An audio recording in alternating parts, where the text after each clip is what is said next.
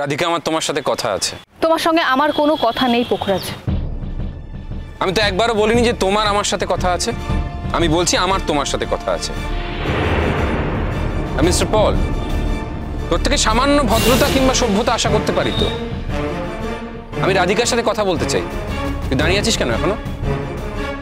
কারণ তোর তো কথা বলা মানে ইনসাল্ট করা। কি করব বল?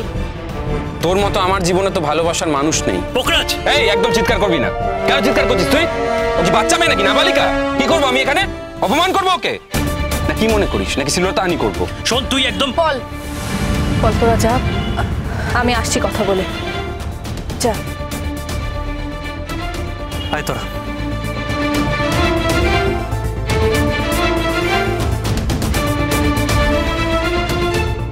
বলো তোমার কি এমন কথা আছে? আমার বিয়েতে খুব এনজয় করবে না তুমি? এই কথাটা বলার জন্য এত তামাশা করার এত নাটক করার কি দরকার ছিল? দরকার ছিল রাধিকা দুটো পরিবারের বিষয়ে কথা হচ্ছে। আমি চাই না কোনো তৃতীয় ব্যক্তি প্রেজেন্ট থাকুক। আর হ্যাঁ তোমাকে একটা কথা বলা হয়নি। বুবলুকে আমার খুব ভালো লেগেছে। খুব ভালো মেয়ে বুবলু। সে তুমি থাকবে। তোমার ভালো লাগলেই হলো। সেটা আমাকে জানানোর কি দরকার? তাছাড়া এটা তোমার পার্সোনাল ম্যাটার তোমার পার্সোনাল ম্যাটারে আমার কোনো ইন্টারেস্ট নেই। Is it really yes it is কিন্তু তোমার পার্সোনাল বিষয় নিয়ে আমার কথা আছে রাধিকা। না এখন তো তুমি কলেজে আসার সুযোগটা পেয়ে গেলে। তো নেক্সট প্ল্যান কি? না মানে আমি তো বিয়ে করে নেব। সংসারী হয়ে যাব। তোমার আর মিস্টার পলের রাস্তাটা তো ক্লিয়ার হয়ে গেল তাই না? শাট আপ কে অবস্ট্রাকশন হয়ে দাঁড়িয়েছিল আমার লাইফে যে লাইনটা বন্ধ থাকবে? ছিল রাধিকা। ছিল। আমি দাঁড়িয়েছিলাম। তুমি নেহাত পাত্তা দিলে না আমার তোমার লজ্জা করে না না? তোমার একটুও লজ্জা করে না? আমার সঙ্গে এইভাবে তামাশা করছ? কেন? কিসের জন্য? তুমি আমাকে বারবার কেন উত্তপ্ত করো বলবে? আমি কি করলে তুমি আমাকে উত্তপ্ত করবে না? কিছু না হোক। আমার তো বোনের সঙ্গে তোমার বিয়ে হচ্ছে। অন্তত সেই সম্পর্কের খাতিরে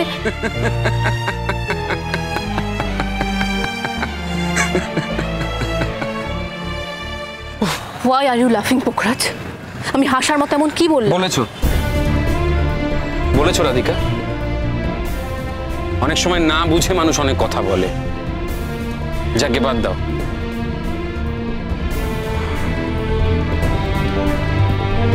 আমি চাই তুমি আমার বিয়েতে খুব আনন্দ করো। আমি তোমার বিয়েতে আনন্দ করি কিংবা না করি তোমার তাতে কি? আমার কিছু নয় রাধিকা। তুমি যদি আমার বিয়েতে আনন্দ না করো লোকে ভাববে যে তোমার আমার উপর একটা ক্রাশ ছিল। সেই কারণে আনন্দ করতে পারোনি। আর তুমি তো নিশ্চয়ই খুব হ্যাপি কলেজে আসার একটা সুযোগ পেয়ে গেলে। তাই দয়া করে আমার বিয়েতে এনজয় করো। তুমি আমাকে বারবার এক কথা কেন শোনাচ্ছ বলবে? আমি কারোর দয়াতে এখানে আসিনি। কেউ দয়া করে আমাকে এই সুযোগটা দেয়নি। না না। একেবারেই দয়া করেনি রাধিকা। বরং আমি তো সব রকম চেষ্টা করেছিলাম। যাতে তুমি কলেজে আসতে না পারো পরীক্ষা দিতে না পারো। আমি তো ভেটেও দিয়ে এসেছিলাম। হুম। আমি জানি সবটা জানি। আমি জানি তুমি জানো। তোমার কাছে সঠিক খবরটা পৌঁছে যাবে সেটা আমি জানতাম। তাই ইচ্ছে করে ওদের সামনে বলেছি যাতে ওরা এই খবরটা তোমার কানে পৌঁছে দেয়। অনেক সময় আসলে ভুল খবরও পৌঁছে যায় আমাদের কাছে। না হয়তো তুমি শুনলে যে আমি চেষ্টা করেছি যাতে তুমি আবার কলেজে আসতে পারো। আমার জন্যই তুমি ফাইনাল ইয়ারের পরীক্ষাটা কলেজ থেকে দিতে পারছ। এসব কথাগুলো কিন্তু সত্যি নয়। তুমি চিরকাল আমার শত্রু ছিলে। শত্রু থাকবে। আমি সত্যি চেয়েছিলাম যাতে তুমি কলেজ অ্যাটেন্ড করতে না পারো। এটা এস্টাবলিশ করা দরকার ছিল। আমি আমার কাজ করে দিয়েছি। তুমি ভাগ্যের জোরে আবার কলেজে আসার সুযোগ পেয়েছ, রাধিকা, আর কিছু না। শোনো পোখরাজ, আজকে বাপির জামিন পাওয়ার কথা। বাপি জামিন পাবে কি পাবে না, সেটা আমরা আদেও জানি না। আর বাপি যদি জামিন পেয়েও যায়, বাপি যে নির্দোষ, সেটা কিন্তু প্রমাণ হয়ে যাবে না। আমাদের বাড়িতে এখন অনেক স্ট্রেস বাপের সাথে ওরকম একটা ঘটনা ঘটার পর থেকে আমাদের জীবন থেকে সব আনন্দ চলে গেছে। আমাদের জীবনে আর কোনো আনন্দ নেই। তার উপর বুবলুর মা বাবা, ওরা অত্যন্ত অবিবেচক মানুষ। আর বুবলুও তাই। তা না হলে আমাদের ঘাড়ের ওপর এসে তোমার বিয়ের ব্যাপারটা নিয়ে এইভাবে দাঁড়াতো না। ওদের বিবেক বলে কিচ্ছু নেই। আর ওই যে বললাম বাড়িটা তো দাদু ভাইয়ের। দাদু ভাইয়ের বাড়ির ওপর আমাদের যদি অধিকার থাকে, তাহলে ওদের কেন থাকবে না? সেজন্য আমরাও কিছু বলতে পারছি না। বরং দাদু ভাই আপত্তি করছিল। কিন্তু আমিই বললাম, আপত্তি করো না।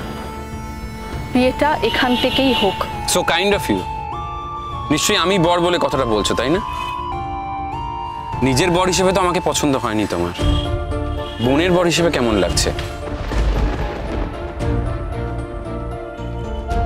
পুখরাজ পুখরাজ আমি খুব টায়ার্ড টায়ার্ড কেন কিসে টায়ার্ড তুমি?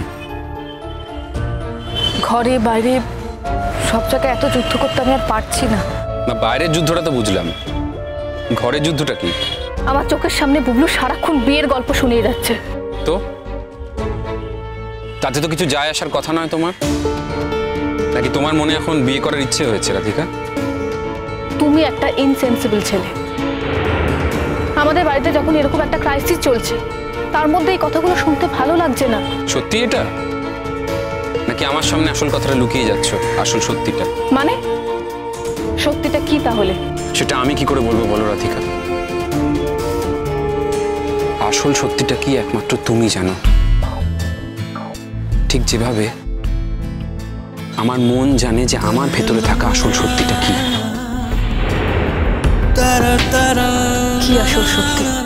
আসল সত্যি? সব আসল সত্যি মুখে প্রকাশ করা যায় না, রাধিকা। যে কারণে তোমাকে এখানে ডেকেছিলাম। আমাদের বাড়িতে তো বিয়ের তোড়জোড় লেগে গেছে। সবাই খুব আনন্দিত। এতদিন বাদে একটা বিয়ের উৎসব হবে বাড়িতে। তোমার বাড়িতেও নিশ্চয়ই সবাই খুব আনন্দিত, তাই না? না, আসলে শ্রেয়ানদার সাথে অঙ্কিতাদির বিয়েটা হলো না। আসলে এটা কথিত আছে যে ওই বাড়ির কারোর সাথে এই বাড়ির কারোর বিয়ে হয় না। এটাকে আমি মিথ্যা প্রমাণ করব। আমার সাথে কিন্তু বুবলুর বিয়েটা হবে, রাধিকা। আর আমি চাই তুমি খুব সাজগোজ করো। কারণ নিশ্চয়ই তুমি এখন খুব হ্যাপি তুমি কলেজে আসতে পারছ, পরীক্ষা দিতে পারছ। তার থেকেও বড় কথা, তোমার জীবনের শনি মানে আমি তোমার জীবন থেকে সরে গিয়েছি।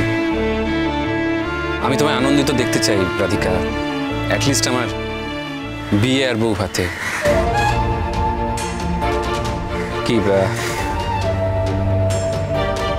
করবেন আনন্দ? শোনো পোখরাজ, তুমি আমাকে এতদিন যা অপমান করেছ, এত অপমান আমাকে কেউ কোনোদিনও করেনি। তুমি আমাকে যা কষ্ট দিয়েছ, এত কষ্ট আমি কারোর কাছ থেকে পাইনি। আমি শুধু একটা দিনের জন্য অপেক্ষা করছি। যেদিন তোমার সঙ্গে আমার কোনো সংসর্গ থাকবে না, সেদিন আমি ভুলে যাব তুমি আমার বোনের বর। আমি শুধু সেই একটা দিনের জন্য প্রে করছি। ব্যাস। জানি রাধিকা আমি তোমাকে অনেক অপমান করেছি। আমার মতো অপমান তোমায় কেউ করেনি। আমি জানি আমি তোমায় কাঁদিয়েছি কষ্ট দিয়েছি। আমার মতো এত কষ্ট তোমায় কেউ দেয়নি। কিন্তু জানো আমি তোমাকে ভালোবেসেছিলাম।